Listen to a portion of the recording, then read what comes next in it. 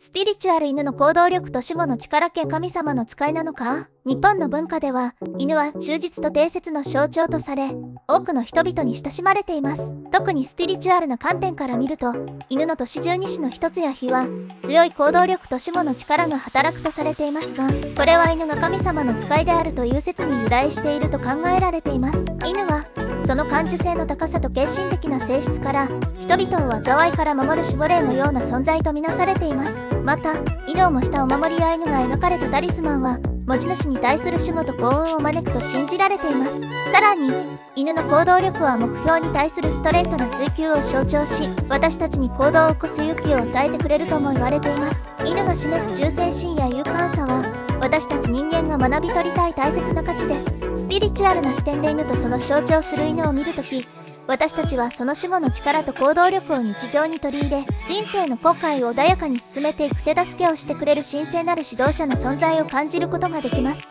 犬という動物がただのペットとしてではなく神様の使いとして私たちの内側の声に耳を傾け直感を信じることの大切さを教えているのです。